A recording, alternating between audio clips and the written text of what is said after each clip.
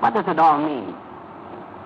It means that dirty money never brings any luck.